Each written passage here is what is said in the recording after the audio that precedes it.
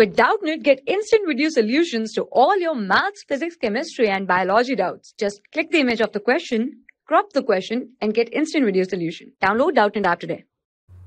Consider the following standard electrode potential E naught in volts in aqueous solution.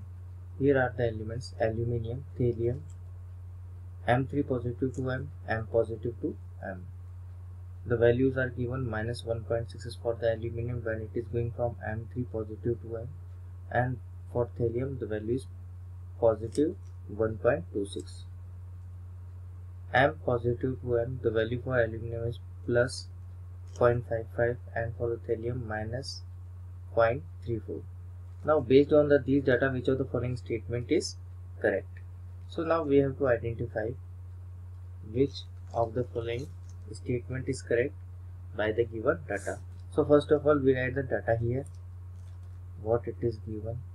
M3 positive to m when the metal is going from m positive to m.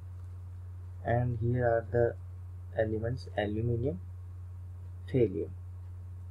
Okay and the values are minus 1.6 is for the aluminium plus 1.26 for the thallium. And here plus 0.55 and minus 0.34 okay. So basically which type of electrode potential it is? It is the reduction potential. How can we identify that it is a reduction potential whenever metal uh, goes from positive to m m positive to m or m3 positive to m then it will be the reduction potential. Or we can say reduction potential or we can say when an element gains an electron then it will be the reduction potential. Okay? From these two datas now we all know that reduction potential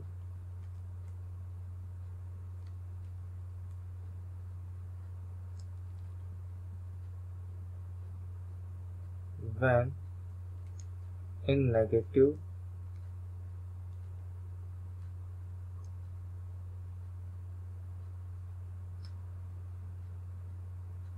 move the stable. Move the stable. Species. Will be. What it means? It means when the reduction potential is in negative value the stability will increase. More the stable will be the element. Okay. So when the reduction potential is in negative value. When the reduction potential is having a negative value more the stability will be for that species.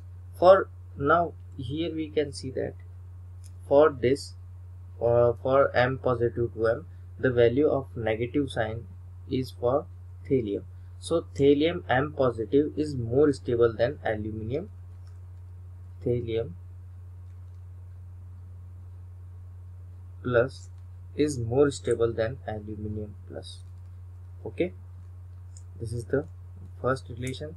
Now similarly m3 positive for the m3 positive to m here the value for the aluminium is in negative value minus 1.66 so aluminium 3 positive will be more stable than thallium 3 positive what is the reason? Because it is having a negative value and we all know that reduction when the reduction potential is a negative value more the stable the species will be. So here we can see from these these two are the correct statement. So we can check here in the option which is given.